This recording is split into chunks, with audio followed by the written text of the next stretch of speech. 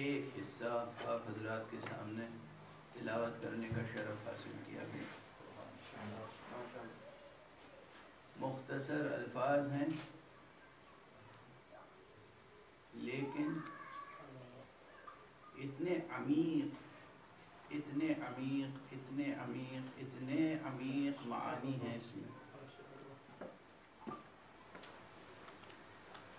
कि इस ज़िम्न में शायद इल्म कलाम इल्म कलाम इस्लामी यानी आम ज़बान में कहा जाए कि दीनियात की मुश्किल तरीन बहसें यहाँ नोकता है। यानी ये कोई मुबालगा नहीं है।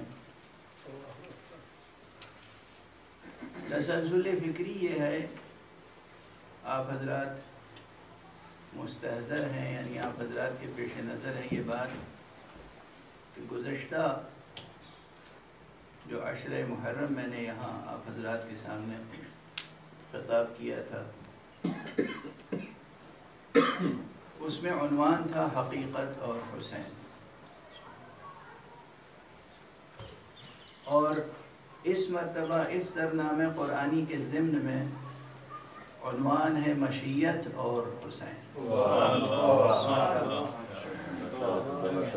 एक सलावात पढ़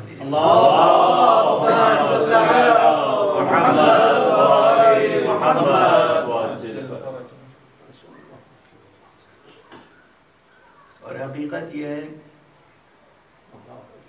कि मशीत इलाहिया और इरादा इलाहिया से मुतल जो बहसें हैं, वो दीनियात की रिलीजस फ़िलासफ़ी की और इल्म कलाम की तरीन और मुश्किल तरीन और पेचीदा तरीन बहसें हैं।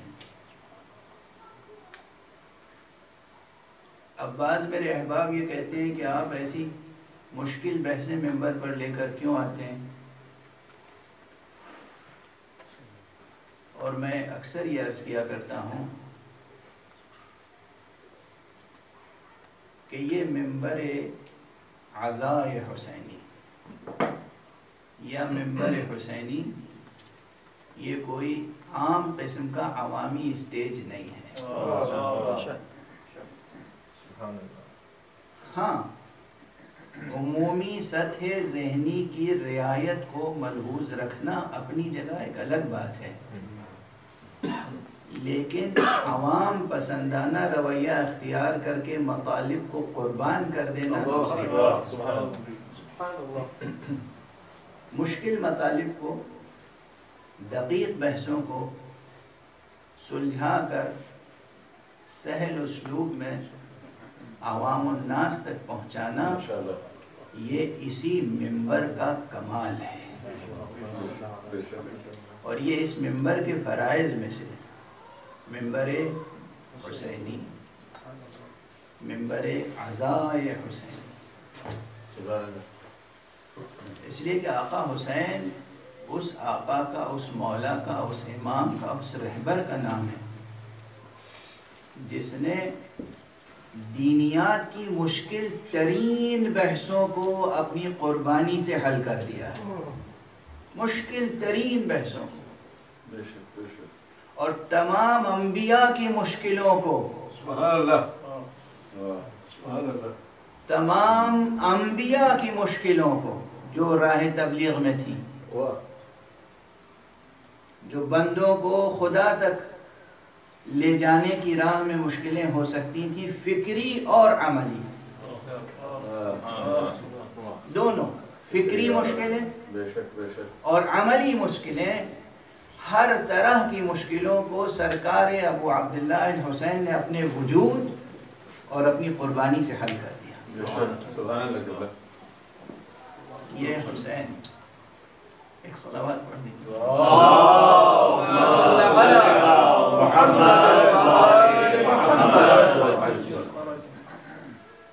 आका हज़रत इमाम अबू अब्दुल्ला हुसैन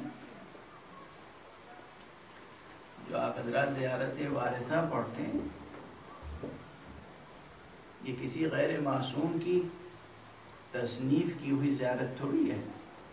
ये एक मासूम ने तालीम फरमाई है। ये एक मासूम ने तालीम फरमाई है। और मासूम कहते ही उसे हैं जो हर शय की हक, का हकीकत शनास हो। और हर शय की कदर शनासी ऐसी करता हो कि कदरदानी और कदर शनासी का हक अदा करने वाला हो। तो मासूम ने सिखाई है कि आका हुसैन को जब तुम खिताब करो और उनकी बारगाह में अर्ज़ अदब करो तो इन कलिमात में करो। ये कहना कि सलाम हो आप पर कि आप वारिस आदम हैं। सलाम हो आप पर कि आप वारिस नूह हैं। सलाम हो उस ज़ात गिरामी पर जो वारिस इब्राहीम है।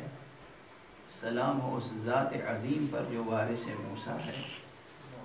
सलाम हो उस मनार हिदायत पर जो वारिस ईसा है।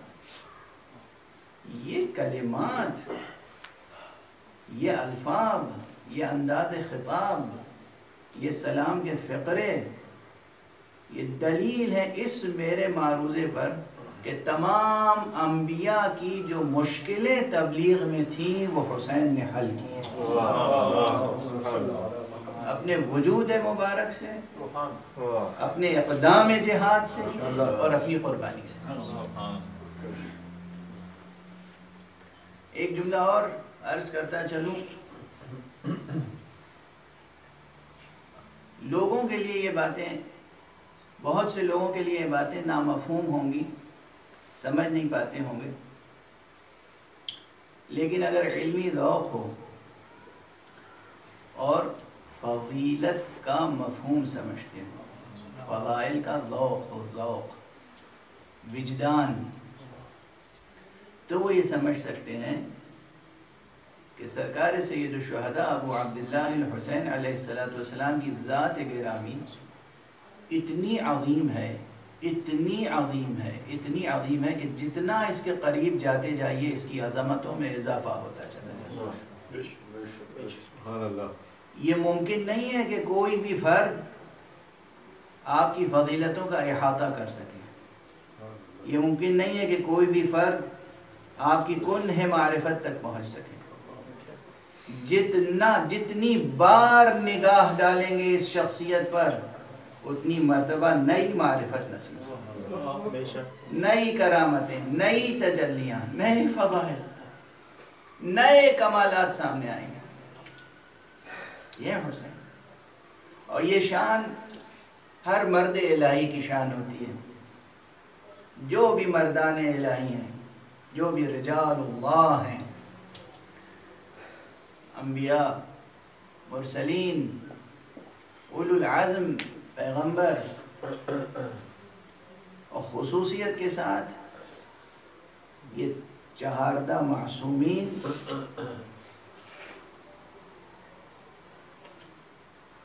जिनमें पहली ज़ात ज़ात गिरामी हबीब किब्रिया, नूर किब्रिया, मोहम्मद मुस्तफ़ा।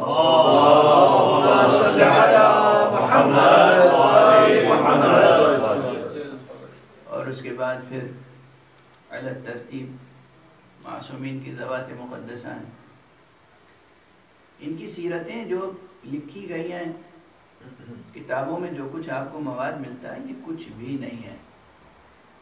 और अवलन तो इन मतालब में जो आम लोगों ने लिखे हैं, इसमें जो रिवायतें हैं, जो इतलात हैं, जो मजमू मालूम हैं, इसमें बहुत सी कमज़ोरियाँ भी हैं, बहुत से नक़ायस हैं। बहुत से नक़ाइस हैं। इसीलिए आँखें बंद करके हर रिवायत पर भरोसा नहीं किया जा सकता। हर तारीख़ी बयान पर एतबार नहीं किया जा सकता बल्कि दो चीज़ें शर्त हैं। एक अक्ल अमूमी जो सही हो सालिम हो और एक नूर ईमान जो सही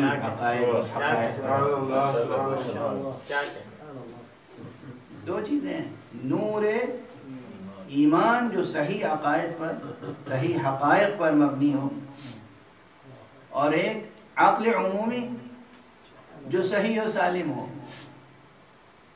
मस्क शुदा ना हो। इंसान के पास अक्ल सलीम हो, कल्ब सलीम हो। ये कल्ब सलीम और अक्ल सलीम ये वो नेमत है जो परवरदिगार ने हर एक को आता की है, लेकिन हर एक के अंदर ये सलाहियत नहीं है कि इसे इसकी फितरी और असली शफाफियत पर बरकरार रख सके। ये मुश्किल है। मुश्किल ये है कि हर शख्स उस गौहर फितरत को जो हक सुबहान हुआ ताला ने आता फरमाया है, उसकी असली शफाफियत के साथ हकीकी आबोताब के साथ, हकीकी नूर के साथ महफूज रख सके, ये तोफ़ी हर एक को शामिल हाल नहीं होती। अगर ये हर एक को शामिल हाल हो जाए तोफ़ी तो कोई इख्तलाफी दुनिया में बाकी न रह जाए। तो ये दो चीज़ें अगर मौजूद हैं, एक अक्ल अमूमी जो गैर मुनहरफ हो, आलूदा ना हो गुबार दुनिया में, लो लौस दुनिया में और दूसरे नूर ईमान। नूर फितरत और नूर ईमान। ये दो नूर अगर इंसान के पास हैं तो जो चीज़ें किताबों में भी लिखी हुई हैं उनमें सही और गलत की तमीज़ कर सकता है। और ये वादा इलाही है मैं अर्ज़ करूँ ये वादा इलाही है कि अगर तुम ईमान और अमल सालेह बजा लाओगे तो अल्लाह खुद तुम्हें एक ऐसा नूर अता करेगा कि तुम हक और बातिल में फ़र्क कर सको। ये नूर मिन जानबुल्लाह अता होता है। ये ज़रूरी नहीं कि ये नूर सिर्फ़ मासूम को अता किया गया हो। सिर्फ़ नबियों के पास हो रसूलों के पास हो इमामों के पास हो। आम इंसान भी अगर ईमान और अमल साल से वाबस्ता हो जाए तो हक सुबहाना हुआ ताला की तरफ़ से उसे वो बसीरत नसीब होती है वो नूर नसीब होता है जिस नूर से वो हक और बातिल के दरमियान फ़र्क और तमीज़ कर सकता है। एक सलावात पढ़ दे मोहम्मद।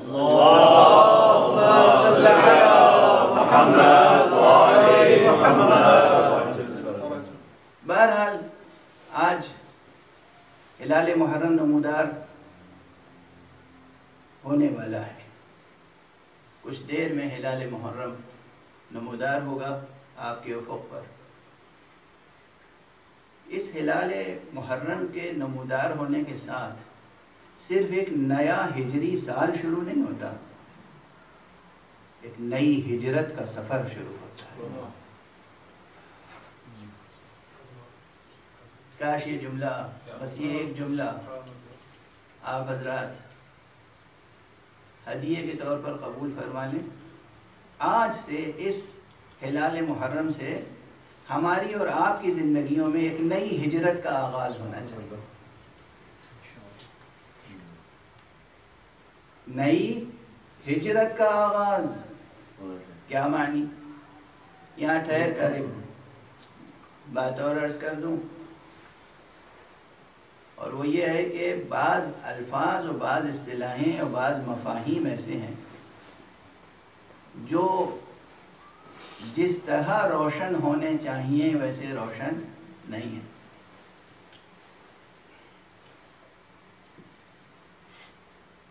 हिजरत का लफ्ज़ बतौर ख़ास उर्दू शायरी में और उर्दू की जदीद शायरी और जदीद अदब में तो बहुत ज़्यादा इस्तेमाल हुआ है। लेकिन अब वो किन किन मफाहिम के साथ इस्तेमाल हुआ है? मैं क्या अर्ज़ करूँ? और ख़ुदा हजरात मुताल फरमाइएगा। लेकिन कुछ ऐसा इस वक्त दो मिसरे किसी जदीद और नुमाइंदा शायर के जहन में आ रहे हैं कि जिस शायर के जहन में इन दो मिसरों की रोशनी में ऐसा लगता है कि हिजरत के मफहूम की अज़मत तो है कुछ। लेकिन वो उसी मफहूम की अज़मत की रोशनी में अमलन जो हिजरतें हो रही हैं उस पर तनकीदी निगाह डाल है। कि शिकम की आग लिए फिर रही है शहर ब शहर। क्या क्या सगे ज़माना है हम क्या हमारी हिजरत क्या? गालिबा कुछ इसी तरह का है अगर मेरा हाफिज़ा इस वक्त धोखा नहीं दे रहा है तो कुछ इसी किस्म का शेर है। ये शिकम की आग, दयार ब दयार, शहर ब शहर लिए फिरे। और उस पर कोई शख्स तनकीद करे कि सगे ज़माना है। हम क्या हमारी हिजरत क्या? हम क्या हमारी हिजरत क्या? हमारी हिजरत क्या? ये सवाल जो कायम किया है, चाहे किसी भी उसलूब में हो, किसी भी तसर के साथ हो, ये बताता है कि जहन में फितरी तौर पर अजमत मफहूम हिजरत मौजूद है।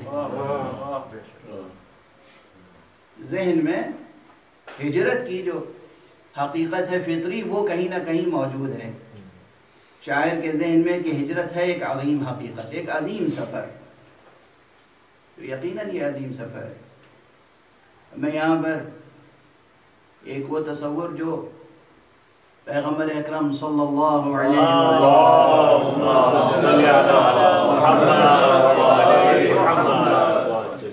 ने और आपके अहल से होने वाले अम अतहार अलैहिस्सलाम ने जो मफहूम हिजरत का रोशनास कराया है, उसकी तरफ़ तवज्जो दिलाता हूँ।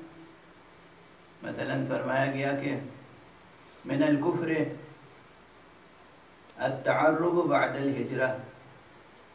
हिजरत के बाद तारुब कुफ्र है। ये तारुब और हिजरत किसे कहते हैं? ये अर्ज़ कर दूँ, पहले डिक्शनरी मीनिंग, फिर असल मफहूम। तारुब के मानी हैं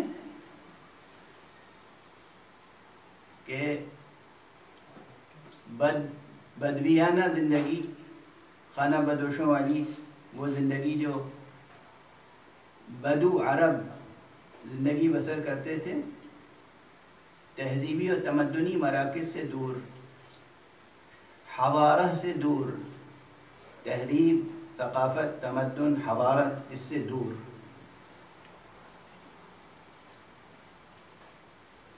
सहराओं में, बयाबानों में, जो ज़िंदगी बसर करते थे कबल इस्लाम तो अब जब इस्लाम आ गया और लोगों ने इस्लाम कबूल कर लिया तो कुछ लोग मदीने आ गए, बल्कि बहुत से लोग मदीने आ गए, लेकिन सब तो नहीं आए थे, फिर भी वो बादिया नशीनी तो बाकी थी। तो वो जो साहिबान ईमान बादिया नशी थे, क्या काफिर थे? काफिर तो नहीं थे। बादिया नशी होने के बावजूद काफिर तो नहीं थे। तो फिर मफहूम क्या है? यानी ये कि हिजरत के बाद दोबारा बादिया नशीनी अख्तियार कर लेना कुफ्र है। अब यहाँ फ़िकी उसलूब में गुफ्तु की जाए तो बहुत तवील है। और गालिबा मुतहमल नहीं है ये वक्त और ये मुख्तसर सा मजमा। अब यहाँ पर मैं अर्ज़ करूँ कि मकसद असली सिर्फ़ ये नहीं है कि आप गाँव में रहें, देहात में रहें, बदमियाना ज़िंदगी बसर करें या शहर में आ जाएँ। शहरी तमद्दन को अख्तियार करें। ये मकसद नहीं है। इन लफ्ज़ों के पीछे मफहम बड़ा है। मफहूम ये है कि इल्मी एतबार से, तहदीबी एतबार से, फ़िक्री एतबार से तरक्की के बाद फिर कदम पीछे हटा लेना कुफ्र है। इर्तिकाई कदम उठा लेने के बाद फिर पलट के पहली मंजिल तक आ जाना कुफरान नेमत है। और इस मफहूम को अगर और वाजह करूँ तो फिर ये अर्ज़ करूँ कि तवील बहस है लेकिन इसे समेट कर अर्ज़ कर रहा हूँ कि यहाँ पर इतनी बुलंदी तक गुफ्तगु पहुँच गई है अहादीस की रोशनी में तालीमत आल मोहम्मद की रोशनी में कि हिजरत से मुराद सिर्फ़ मकानी हिजरतें नहीं हैं। एक शहर से दूसरे शहर चले जाना एक मुल्क से दूसरे मुल्क चले जाना।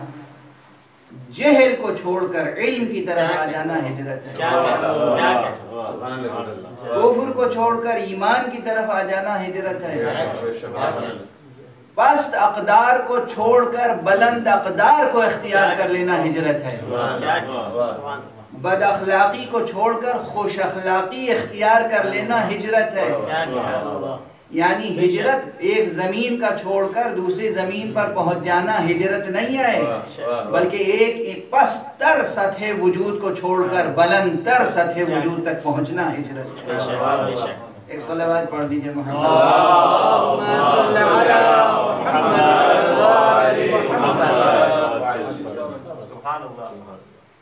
अब हिजरत का मफहूम वाजे हुआ कि हिजरत से मुराद क्या? है किस चीज़ को छोड़ना है और किस चीज़ को अख्तियार करना है। अब ये हमारे बुज़ुर्गों के मुहावरे हैं। हौजहा में, मदारस में जब कोई तालब इल्म आता था तो पूछते थे कि तुमने कब हिजरत की भाई? तुमने कब हिजरत की?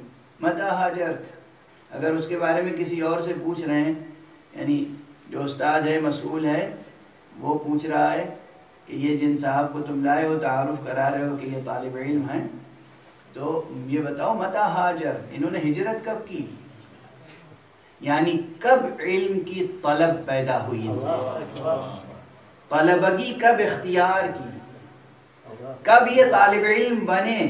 जिस वक्त ये तालब इल्म बने, जब तलबगी इख्तियार की, जब इन्होंने पूरे वजूद के साथ ये फैसला किया कि अब हमें इल्म हासिल करना है। वो लम्हा है लम्हा हिजरत। उस वक्त ये मुहाजिर हो गए। अब अगर कोई शख्स तलब इल्म की राह छोड़कर फिर तलब दुनिया में मशगूल हो जाए तो ये ऐसे ही है जैसे कोई ईमान छोड़कर फिर काफिर हो जाए। क्या जौक है? किस बुलंदी जौक की तरफ़ तवज्जो दिलाई जा रही है? मज़ाक तबीयत कितना बुलंद होना चाहिए? जौक तबीयत कितना बुलंद होना चाहिए? कि अगर तलब इल्म की तरफ़ आए हैं तो यह हिजरत, और तलब इल्म को तर्क कर दिया तो वो गोया तारुब है। यानी फिर बादिया नशी हो गए। फिर कुफर की तरफ़ पलट गए।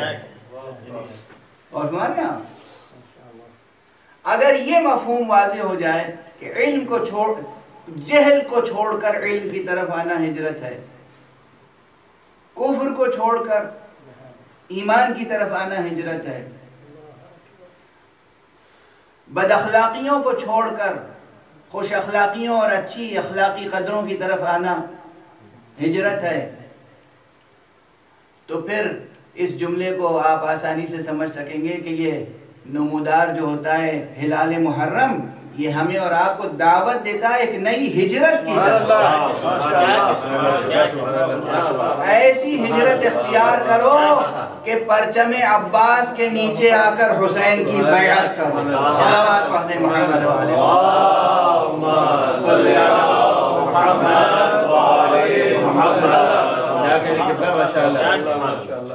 आपकी जिंदगियों में आपकी ज़िंदगी में सिर्फ़ एक नए हिजरी साल का इजाफा ना हो। एक नए नई हिजरत का आगाज़ हो। बुलंदियों का नया सफ़र सामने आ जाए। बइज़्न इलाही बमशीयत इलाहिया बइराद इलाहिया। हक सुबहानहु व तआला की तरफ़ से हुस्न तौफीक आपके शामिल हाल हो। आप कहें या हुसैन और उधर से दस्तगीरी हो जाए। एक सलावात पढ़ दीजिए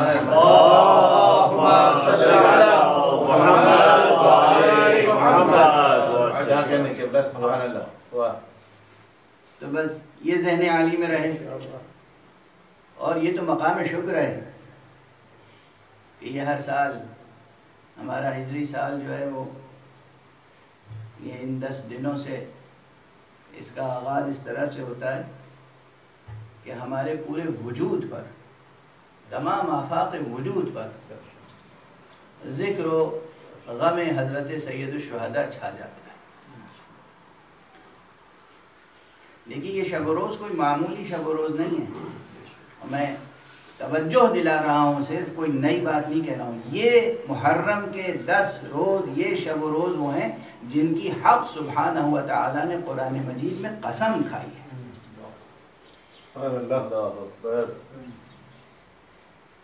इन दस दिनों की और दस रातों की बिस्मिल्लाहिर्रहमानिर्रहीम। वल फज्र वलयालिन आशरिन वश्शफ़ वल वत्र। वल्लैलि इज़ा यसर हल फ़ी ज़ालिका क़समुल लज़ी हिज्र सुभान अल्लाह ये किसी और दस रातों की कसम नहीं खाई गई है। ये मुहर्रम की दस रातें। हैं और ये वो कौल है जो ये ना समझिएगा कि सिर्फ़ शिया इमामिया तफसीरों में पाया जाता है बल्कि इमाम अहल सुन्नत वल जमात इमामुल मुफस्सिरीन भी उन्हें कहा जाता है। इमाम फ़खरुद्दीन राज़ी। फ़खरुद्दीन राज़ी उन लोगों में से हैं जिनके दामन पर तशैयों का गुबार नहीं बैठा है। तशैयों के इल्ज़ाम और इत्तेहाम से बरी हैं वो। अब क्या कहूँ? यानी जो इल्म रजाल की स्टडी करते हैं हमारे आम मुसलमान तो कोई कितना ही आलिम हो, मुत्तकी हो, परहेजगार हो फ़की हो हकीम हो मुतकलम हो मुहदस हो सब कुछ हो। लेकिन अगर उसमें हब अहल बैत है और तशैयों का शायबा पाया जाता है तो उसे रद्द कर देते हैं। कहते हैं कि ये हम इससे हदीस कबूल नहीं करेंगे, इसलिए कि इससे बूए तशैय आती है। तो इमाम फखरुद्दीन राज़ी पर ऐसा कोई इल्ज़ाम या इत्तेहाम नहीं है। उन्होंने अपनी तफसीर में चंद अकवाल लिखे हैं जिसमें दूसरा कौल ये है कि ये वलफजर वलयालिन आशरन से मुराद मुहर्रम के इब्तदा के रोज़ शब हैं। ये अयाम हैं। तो अगर ये कौल ऐसा होता कि जो काबिल एतबार ना होता तो यकीनन वो इसका ज़िक्र ना फरमाते। और मैं ये समझता हूँ, मेरे नज़दीक इस फ़कीर का, इस आजिज़ का मताल जहाँ तक भी है। विजदानी एतबार से और ज़ाहरी एतबार तक। मुझे यकीन है कि यहाँ जो कसमें खाई हैं हक़ सुबहाना हुआ ताला ने, वो किसी और शब और रोज़ की कसम नहीं खाई है। ये मुहर्रम के दिन हैं, ये मुहर्रम की रातें हैं, ये दस रातें वल फज्र वलयालिन अशर। ये दस रातें वो हैं। अगर इन दस रातों को नूर अश्क हुसैनी से धो लिया आपने तो आपकी दुनिया भी संवर जाएगी आखिरत भी रोशन बहुत अहम है ये दस रोज। मकाम शुक्र है कि हम हर साल अपने हिजरी साल का आगाज़ ज़िक्र मुबारक हुसैन से करते हैं, पलट कर इन आयत, इस आयत की तरफ़ आऊँ जिसको मैंने सरनाम कलाम करार दिया है। इरशाद इलाही कह दीजिए, ए रसूल, कह दीजिए कि मशरक़ भी अल्लाह ही का है और मगरब भी अल्लाह ही का है। यहदी मन यशा इला सरात मुस्तकीम। वो जिसे चाहता है सरात मुस्तकीम की तरफ़ हिदायत देता है। अजब मकाम सुखन मैंने अर्ज़ किया था कि बहुत मुख्तसर है, लेकिन बहुत गहराई है बड़ी जाजबियत है इसमें। और ज़रा ये तो आप हजरात के जहनों में रहे कि बस आम तर्जमे देखकर कुरान फहमी का हक अदा नहीं होता। तर्जमे ज़रूर देखिए। तर्जमे ज़रूर देखिए। लेकिन बहुत सी हकीकतें माँ वराए तर्जमा होती हैं। इन आँखों से जो पढ़ते हैं आप वो तर्जमा होता है। दिल की आँखों से जो कुछ नज़र आता है।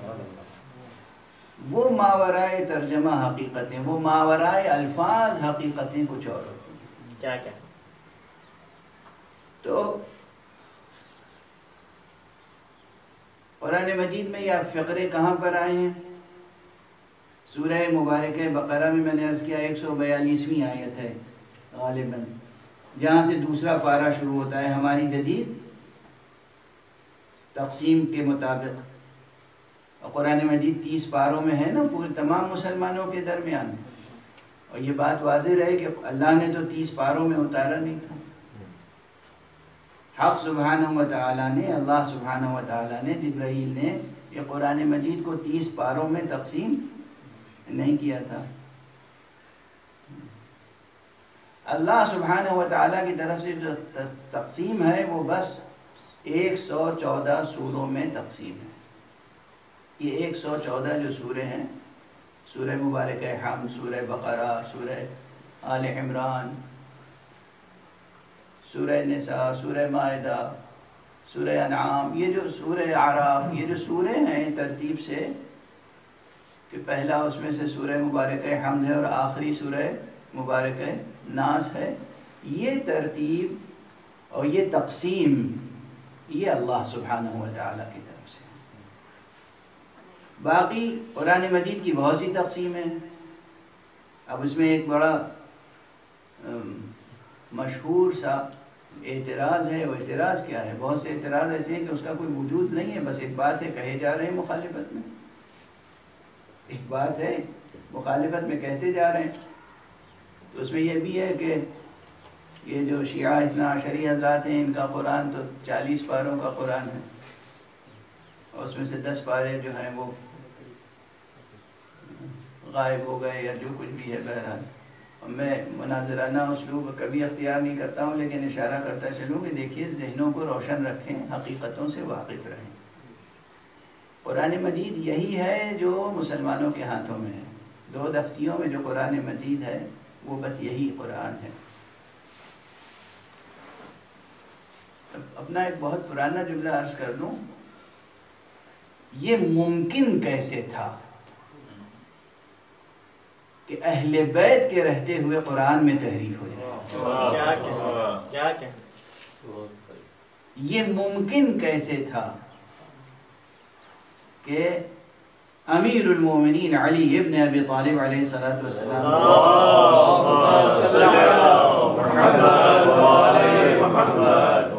कुरान में तहरीफ हो जाए। मुमकिन नहीं है इम्पॉसिबल इसलिए तहरीफ है कुरान का अकीदा तो बातिल है। कुरान मजीद में कोई तहरीफ नहीं हुई। जिस तरह से कुरान मजीद हक सुबहान व ताली ने मुस्तफ़ा सल्लल्लाहु अलैहि वसल्लम के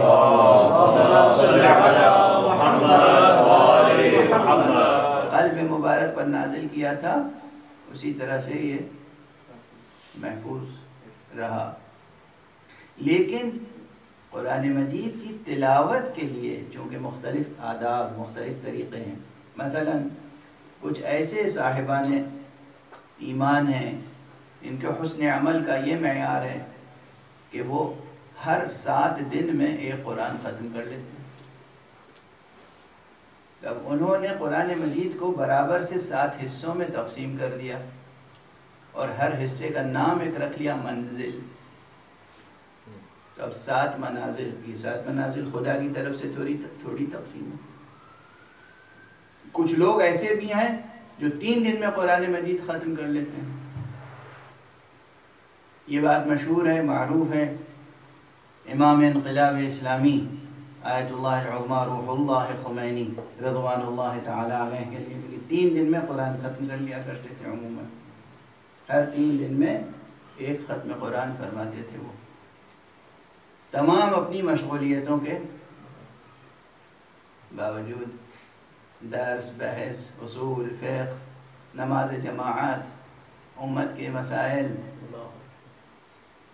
तमाम अपनी रियावतों और तमाम अपनी मशगूलियतों के बावजूद तीन दिन में कुरान ख़त्म कर लिया करते थे। और दुनिया में ऐसे लोग हैं हाफिजान कुरान के जो तकरीबन दस घंटे में पूरा कुरान पढ़ लेते अब भी इस वक्त रुए ज़मीन पर ऐसे लोग हैं।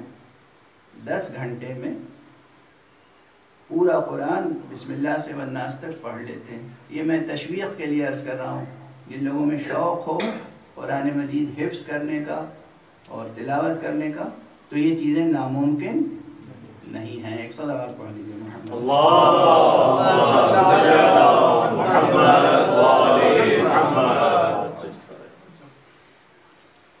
बहरहाल लेकिन बेहतर ये है। ये अर्ज़ कर दूँ साथ में बेहतर ये है कि, यानी उससे पहले ये अर्ज़ कर दूँ कि मैं ऐसे लोगों से शख्सी तौर पर वाकिफ़ हूँ। मैं जानता हूँ ऐसे लोगों को जो दस घंटे में कुरान ख़त्म करते हैं। और ये इसलिए ज़िक्र कर रहा हूँ कि ये गैर मासूम लोग हैं। ये आम अफराद हैं। इसलिए अगर किसी मासूम के लिए ये रवायत मिले कि एक शब में कुरान ख़त्म कर लेते थे या एक शब में हज़ार रकात नमाज़ पढ़ लेते थे तो इसका इनकार न कीजिएगा, इनकार जहालत है। इनकार जहालत है। आम इंसान आज इस रुए ज़मीन पर मौजूद हैं जो दस घंटों में कुरान मजीद ख़त्म कर लेते हैं। यानी तीस पारे, लफ ब लफ, दस घंटों में। ग्यारह घंटों में, बारह घंटों में, चौदह घंटों में। इससे कम में भी ख़त्म करने वाले हैं, लेकिन उन्हें मैं पसंद नहीं करता हूँ। क्योंकि वहाँ बाज़ अल्फाज पूरे तौर पर अदा नहीं हो पाते हैं। लेकिन बहरहाल नौ दस घंटे में अगर कोई कुरान ख़त्म कर लेता है तो नॉर्मल डेज़ एंड नाइट्स यहाँ हैं। जहाँ बारह घंटे की रात और बारह घंटे का दिन है, वहाँ एक रात में कुरान ख़त्म हो सकता है। और जो शख्स एक रात में कुरान ख़त्म कर सकता है, वो एक रात में सौ रकात नमाज़ या दस रकात हज़ार रकात नमाज़ भी पढ़ सकता है। ये सब अपने ज़ौक़ और शौक़ की बात है। बहरहाल पैगंबर सल्लल्लाहु अलैहि वसल्लम की तरफ़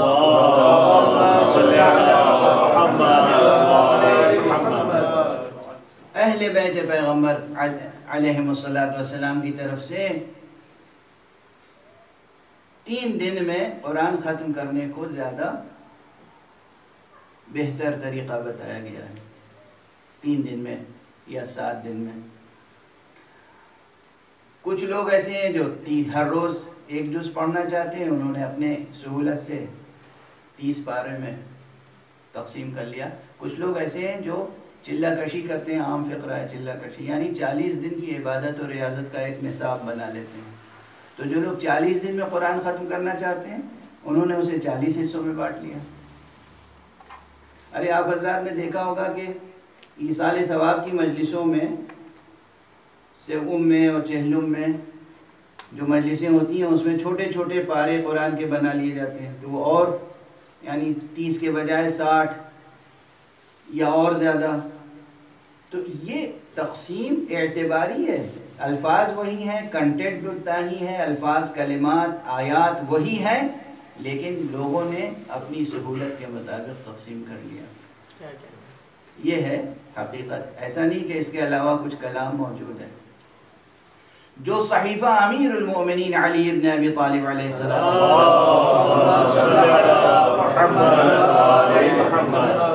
वो सहीफ़ा वो सहीफ़ा उसकी शान ये थी कि उसमें आयात के मानी मफाहिम मफाहिम के मसादिक, शान नजूल, मुराद इलाही की तरफ़ इशारे थे। बयान तफसीर के साथ था वो कुरान, जो यकीनन इमाम ज़माना अज्जल्लाहु ताला फरजह शरीफ के पास महफूज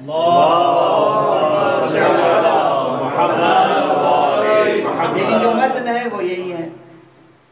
तो बहरहाल, परवरदिगार आप हजरात को तोफ़ी अता फरमाए कि कम अज़ कम रोज़ाना एक जुज़ कुरान तो पढ़ें। और मुहर्रम है तो रोज़ाना एक जुज़ कुरान पढ़ के सरकार सैद शहदा को हदिया करें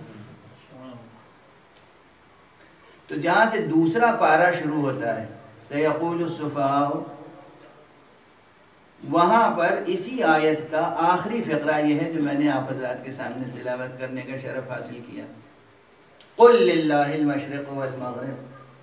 कह दीजिए रसूल कि अल्लाह ही के लिए है मशरक़ और अल्लाह ही के लिए है मगरब यहदी मैं यशा मुस्तकीम उसकी मशीयत जिसके हक़ से मुतक़ हो जाती है जिससे मुतक़ हो जाती है उसे वो सरात मुस्तकीम की तरफ़ हिदायत फरमाता है यहाँ से मैंने सिर्फ़ यहदी मई यशा ये कलम यशा से इस्तेफादा करते हुए अनवान कायम किया है आपके सामने मशीयत और हुसैन और मैंने अर्ज़ कर दिया कि ये बहुत मुश्किल बहस है। तो दिल जिगर थाम के बैठिएगा। यानी ये वो मरहला है कि जहाँ बहुत से फ़िरक़े वजूद में आ गए सिर्फ़ इस एक मसले को हल न कर सकने की वजह से। हल नहीं हुई बात।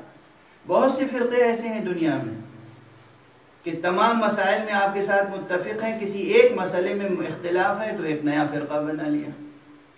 और कभी कभी तो ये होता है कि फ़िरका बनाने वाला अलग फ़िरका बनाना नहीं चाहता, बाकी लोग इस तरह उसको अपने हल्के से दूर करते हैं कि वो मजबूरन एक फ़िरका बन जाता है। एक चीज़ याद रखिए, फ़र्श आज़ा से ये पैगाम सब तक पहुँच जाए दिलों में वसातें पैदा कीजिए तंगी पैदा ईमान की खैरात बांटिए नूर ईमान को आम कीजिए। हल्का ईमान से निकालने का हक आपको नहीं है किसी के लिए। जब तक कोई शख्स खुद ऐलान कर रहा है कोई भी हो खुद जब तक कोई शख्स ऐलान कर रहा है कि मैं मुसलमान हूँ, मैं अल्लाह पर यकीन रखता हूँ, मैं मोहम्मद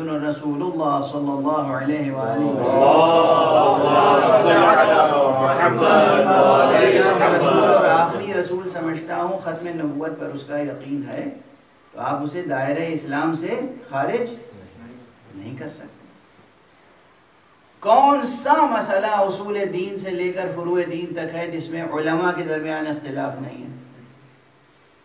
कौन सा मसला ऐसा है कि जिसमें मुफक्रीन के दरमियान दो राय नहीं है? सोचने वाले जहनों के तरीक़े अलग अलग होते हैं। एक ही हकीकत को कोई किसी तरह से बयान करता है, कोई किसी तरह से बयान करता है। इख्तलाफ बयान, इख्तलाफ उसलूब, इख्तलाफ नज़र, इख्तलाफ राय, इसका एहतराम करना इंसानियत है। इख्तलाफ राय को बर्दाश्त न करना इंसानियत नहीं है।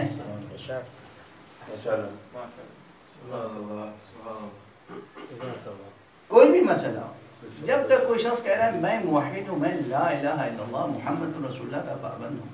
अब वो तशरीहात में जिस कदर भी आपसे इख्तलाफ रखता हो, आपको ये हक हासिल नहीं है कि आप उसे काफिर या मुश्रिक कहकर दूर करें। ये हमारे बहुत से वाइजीन बहुत से मौलवी साहिबान का ये रवैया है तकफीर की तरफ़ बढ़ जाते हैं। फ़ौर दूसरे को काफिर कह देना, मुशरक कह देना, ये ज़रा इसका हिसाब यहाँ नहीं, खुदा के सामने देना होगा। यहाँ तो आप जो जी चाहे कर लें।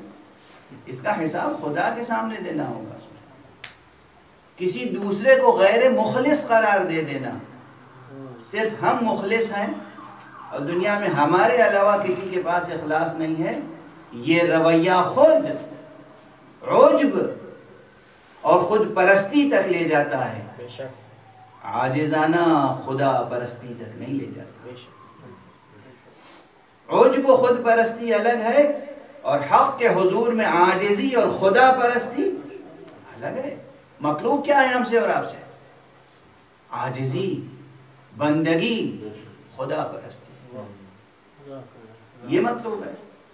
मुतालबा हमसे और आपसे हर फर्द बशर से यह है, आजिजी, बंदगी और खुदा परस्ती और खुदा की कसम। खुदा की बंदगी का बुलंद तरीन पैमाना जो दुनिया में मुमकिन है, उस पैमाने को बनाने वाले और निभाने वाले हैं हुसैन इब्न अली। एक सलावत पढ़ दीजिए।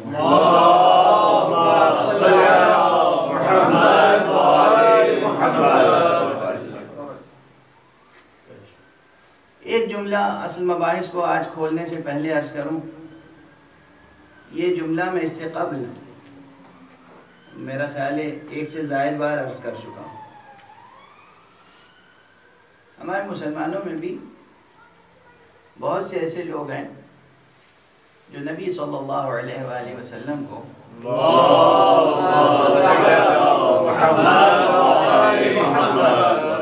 देखिए, पूरी दुनिया को मालूम है कि ये कोरोना का ज़माना है और कोविड नाइन्टीन की वजह से जो पाबंदियाँ हैं, सब जानते हैं। आपकी तादाद कम ज़रूर है, लेकिन आपकी आवाज़ ज़रूर में इतनी बुलंद होनी चाहिए जो कसरत पे गालिब आ जाए।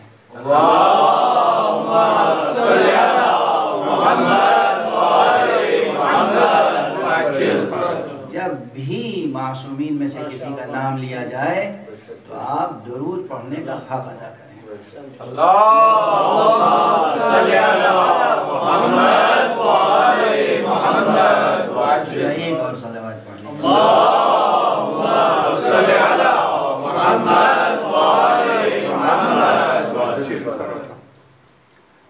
बहुत से ऐसे मुसलमान हैं जो हुजूर को अपना जैसा समझते हैं।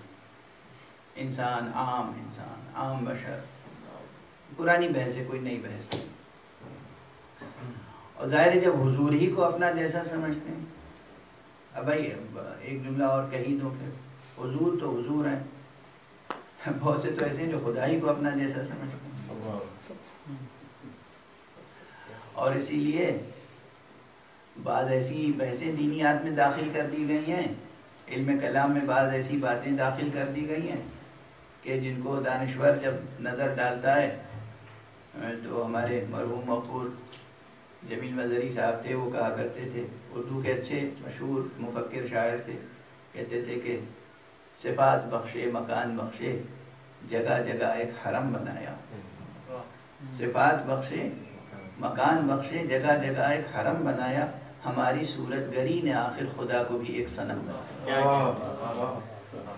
तो ये मुश्किल है सिफात हक़ को समझने में। अल्लाह सुबहान की सिफतों को समझने में, उसके अफ़ाल को समझने में अप्रोच बहुत से लोगों का इसी तरह का है। कि वो खुदा को अपना जैसा समझते हैं। और जब खुदा को अपना जैसा समझते हैं तो फिर रसूलुल्लाह सल्लल्लाहु अलैहि वसल्लम तो फिर उनके बारे में क्या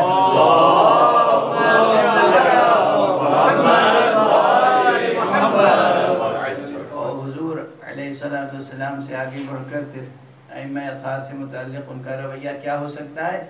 इसके बारे में बस किताबें पढ़ लीजिए। इसलिए कि बस अगर रिवायतों की तरफ़ मैं हवाला भी दूँगा तो मेरा मिजाज बहुत बरहम हो सकता है। यानी फ़जाए दहन की शीरीनी जो है, वो तलखी से बदल जाएगी। तो हैं ऐसे अफराद जो इन हस्तियों को अपना जैसा समझते हैं। अब ये एक छोटा सा जुमला है मैं इसे पहले अर्ज़ कर चुका हूँ लेकिन फिर अर्ज़ कर रहा हूँ आपके साथ। हज़रात मोहम्मद वाल मोहम्मद ये अम अखार ये मासूमीन ये आलम बशरीत के अजीम तरीन रहनुमा ये वो हैं कि हम और आप शरीयत पर अमल करने के पाबंद बनाए गए हैं। और ये वो हैं जो मशीयत पर अमल करने का हक अदा करते हैं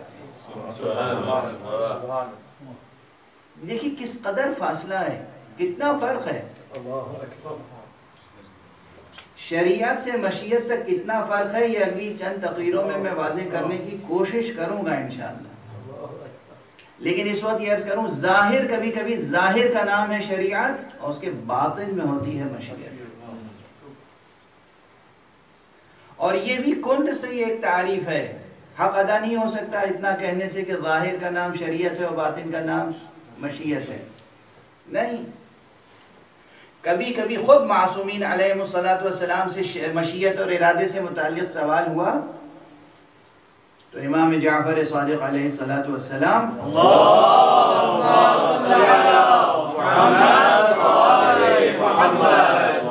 ने फरमाया कि देखो, शाह अल्लाह व अराद अल्लाह ने चाहा और अल्लाह ने इरादा किया। ये दोनों एक ही मायना में इस्तेमाल करते हो तुम। लेकिन कभी ये होता है कि अल्लाह किसी चीज़ का अम्र फरमाता है लेकिन वो उससे कि, किसी चीज़ का इरादा फरमाता है लेकिन उससे राज़ी नहीं होता। क्या मुश्किल है? क्या मुश्किल है? और हमारे यहाँ यहीं से मुश्किल शुरू हो गई। एक चीज़ खारिज में वाक़ हो रही है। लेकिन अल्लाह उससे राज़ी नहीं है। हाँ। इसीलिए मैंने कहा था ना, बड़ी दकीक बहस है ये। आप ये बताइए इस पूरी कायनात में, हक सुबहान ताला का कलमा पढ़ने वाले मुवाहिद ये बताएँ, अल्लाह कादिर है? आलिम है? कि मुमकिन है कि कोई भी छोटे से छोटा अमल उसके इल्म के बगैर वजूद में आ जाए? और क्या वो ऐसा नाउजुबिल्ला आजिज है कि कोई चीज़ उसकी रज़ा के खिलाफ हो रही हो और वो रोक ना सके? तो ये मुमकिन नहीं है कि कोई चीज़ उसके इल्म में न हो और हो जाए। ये भी मुमकिन नहीं है कि किसी चीज़ को वो रोकना चाहे और ना रोक सके। वो आलिम भी है और कादिर भी। फिर भी यहाँ वो काम भी हो रहे हैं जिससे वो राज़ी है। वो गुनाह भी हो रहे हैं जिससे वो नाराहत है, नाराज़ी है। हो रहे हैं या नहीं हो रहे ये वो गुत्थी है जो मुतकलमीन और मुफसरीन और थियोलॉजियंस जो है, उनके लिए मुश्किल बनी हुई है। कि जो माहरीन दीनियात हैं, खुदा आलिम है, कादिर मुतलक है, और वो कोई चीज़ ऐसी नहीं है जो उसके इल्म के बगैर वजूद में आए। और उसके बावजूद वो बहुत सी चीज़ें जो वजूद में आती हैं, उनसे राज़ी नहीं है।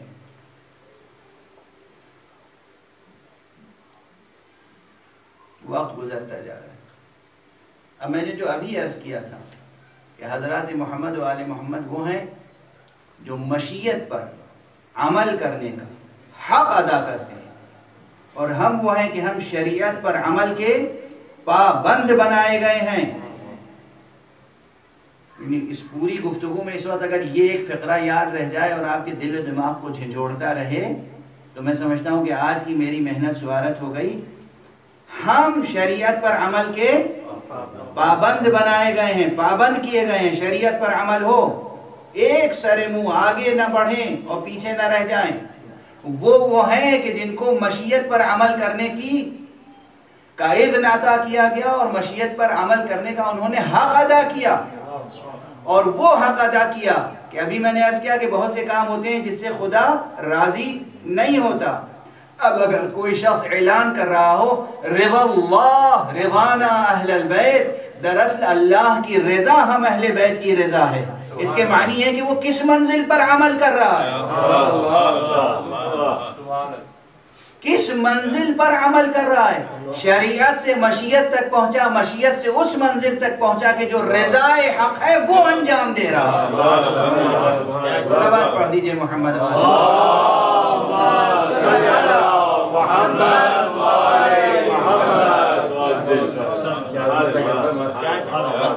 जो रजाए हक है। और अगर आप हजरात अहले नज़र भी हैं और मजाली से सरकार से शुदा के तोफ़ैल में ये फ़िक्रे बार बार आपके कानों से टकराते होंगे। आपके पर्दा समात को नूरानी करते होंगे। आपके कोशिश समात को महजूज और मुनवर करते होंगे। ये किसी और का फ़िक्रा नहीं था। ये हज़रत अबू अब्दुल्ला हुसैन। ये इमाम हुसैन का फ़िक्रा था। जब आप मक्के से करबला के लिए रवाना हो रहे थे तो मक्के में जो खुतबा इरशाद फरमाया है, यादगार, उसमें एक फ़िक्रा था रिज़ाना बैत। देखो, अल्लाह की रज़ा हम अहल बैत की रज़ा होती है। ये हुसैन। ये आका हुसैन का फ़िक्रा है। क्यों? बस अब दो तीन फ़िक्रे अर्ज़ करूँगा। आज बहुत से मतालिब अर्ज़ करना चाहता था, लेकिन किसी सबब से तबीयत मुंतशिर हो गई। तो वो मतालिब अर्ज़ नहीं कर सका। लेकिन बहरहाल जब आका हुसैन को बागी शाम के मामूर ने बुलाकर बैत के लिए मजबूर करना चाहा तो आका हुसैन ने बैत से इनकार फरमाया। और ये इरादा फरमा लिया कि मशीयत के जो तकाजे हैं, वो इस तरह पूरे किए जाएँ कि रज़ा हक हासिल हो जाए। चुनानच रिवायतें हैं और ये जो अब खुलास रिवायात अर्ज़ कर रहा हूँ, ये तमाम तारीख़ों में मुश्तरक है। जुज़ियात में तो इख्तलाफ है। लेकिन तमाम किताबों में जो मतालिब हैं, उसमें जो मुश्तरक अनसर है, वो ये कि मदीना छोड़ने से कबल आप बार बार अपने नाना की कब्र मुबारक पर गए।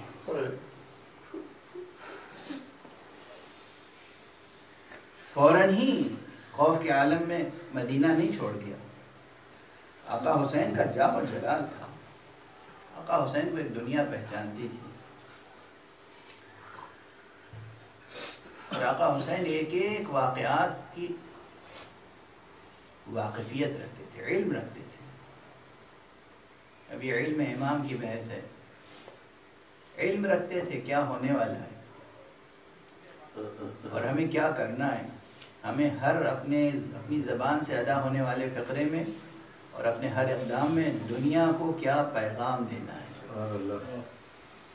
दुनिया के लिए क्या दर्स छोड़ कर जाना है? राह खुदा में कहाँ कहाँ हमें कंदीलें रोशन करनी है? कहाँ कहाँ हमें चराग रोशन करनी कहाँ कहाँ शमें जलानी? तो हुजूर सरकार सैदुलशहदा बार बार कब्र मुबारक के पैगंबर पर तशरीफ़ ले गए और जब आखिरी बार तशरीफ़ ले गए कहते हैं एक रात में तीन मरतबा। नमाज़ मगरब के बाद तशरीफ़ ले गए। फिर नमाज़ ऐशा के बाद तकरीबन निसफ शब के करीब और फिर शहर के वक्त तशरीफ़ ले गए। और अजब अंदाज से, अस्सलाम या जद्दा नाना, आप पर और ये कहकर आपने अपने रुखसार मुबारक को तुरबत पैगंबर नाना की कब्र पे रखा और खूब गिरिया किया। खूब गिरिया किया। गिरिया करते करते हालत नौमिया तारी हो गई। जिसे कहते हैं कि ख्वाब देखा। और उसके बाद फिर बुलंद हुए तो फरमा रहे थे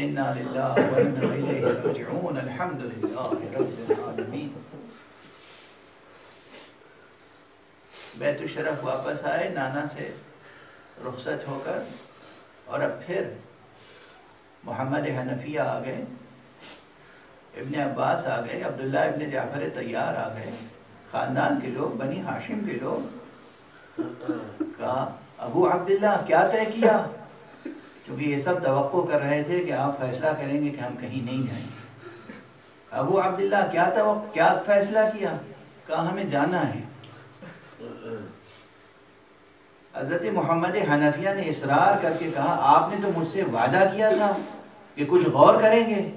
कहा हाँ मगर मुझे हुक्म दिया गया है और मैं उस हुक्म पर अमल करूँगा। मुझे मेरे नाना ने हुक्म दिया है। और फरमाया, या हुसैन उखरुज इलल इराक। शाह अल्लाह कतीला। हुसैन, जाओ इराक की तरफ़ जाओ। अल्लाह की मशीयत है कि वो तुम्हें अपनी राह में कुछ तय जफा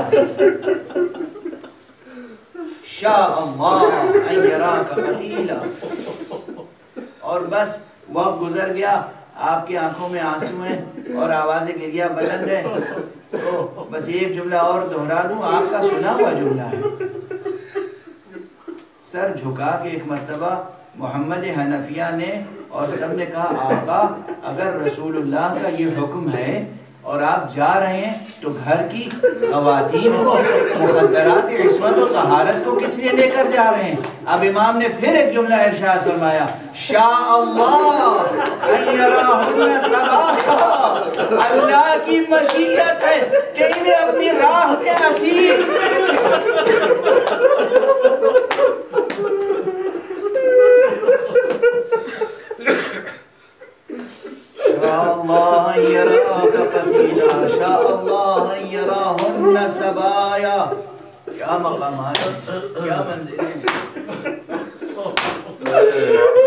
इस के बावजूद किसमें हौसला है पूरी बशरियत जो इस तरह हक ताअत व बंदगी हक अदा करे जिस तरह किसमें? हौसला किसमें। हिम्मत बस। अब काफिला तैयार हुआ और ये मेरे वालिद मरहूम परवरदिगार उनकी रूह को बुलंदियाँ अता फरमाए। अल्लाह में दरबंदी के हवाले से और साहिब जुब्दा के हवाले से के हवाले से नकल किया करते थे। मैं भी नकल कर रहा हूँ आपके सामने कि जब काफिला चला है तो आका हुसैन सबको साथ लिए एक बीमार बच्ची ऐसी जिसे आपने जनाब बीबी उम्मे सलमा के पास यकीनन छोड़ने की कुछ मसलहतें रही होंगी। यकीनन कुछ असबाब रहे होंगे। यकीनन कुछ हिकमतें रही होंगी। यकीनन कुछ अमानतें सुपुर्द की होंगी। कहते हैं कि जब काफिला आगे बढ़ा तो बार बार पलट के इमाम डेहड़ी में वो बीमार बेटी पड़ी हुई थी। सलमा भी खड़ी हुई होंगी, और बीबियाँ भी होंगी। जनाब बनीन होगी, पूरा कुलबा होगा, लेकिन सब बच्ची होगी हुसैन की बेटी है, हुसैन जा रहे हैं। एक मरतबा देखा कि हुए। बीबी ने कदम घर से बाहर रख दिया। बस इमाम ने काफिला रोक लिया। ठहर जाओ, रुक जाओ।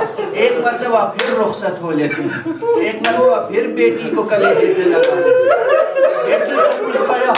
बेटी हर एक से मिली। और उसके बाद जब बीबी उम्मे रबाब के पास आई को फैला दिया को फैलाया। बीबी रबाब के आगोश में छह महीने का नन्हा बच्चा। बहन की आगोश में आ गया। अब बहन की आगोश में जैसे ही ये बच्चा आया।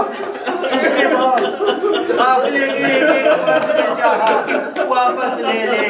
ये बहन की आगोश से जुदा नहीं हो रहा था।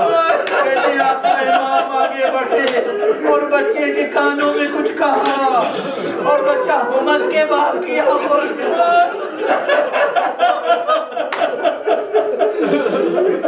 यकीनन, मेरा विजदान ये कहता है, आका ने यही फरमाया होगा, यही फरमाया था, बेटा, तुम हज़रत खुदा के फरजंद हो। तुम्हें अल्लाह की बारगाह में कुर्बान होना है तुम्हारी मंजिल मदीना नहीं करबला में बस दो तस्वीरें हैं एक वो तस्वीर जब सोहरा फातिमा सोहरा की गोद से असगर हुसैन की गोद में आए हैं और नन्हे नन्हे हाथों से गले में, गले का हार हो गए। लेकिन अभी तस्कर के गुलूए मुबारक से लहू नहीं दूसरी तस्वीर वो उभरती है जब करबला में वादे असर आशूरा यही नन्हा बच्चा है हुसैन के गले में हाविजा है मगर लहू लहू हो रहा है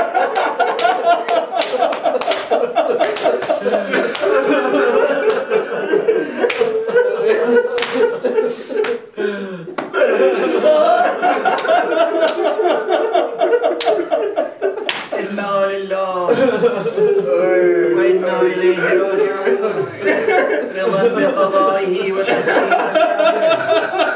परवरदिगार हमें उलूम कुरान और मारिफ अहले बैत से आशना फरमा परवरदिगार मुबीन की मारिफत अता फरमा परवरदिगार हमें आका हुसैन के नक्श कदम पर पर चलकर अपनी बंदगी की तौफीक अता फरमा। परवरदिगार माबूद इस कुराए अर्ज़ को आफियत बना दे मुबारक हुसैन के सदक़े में।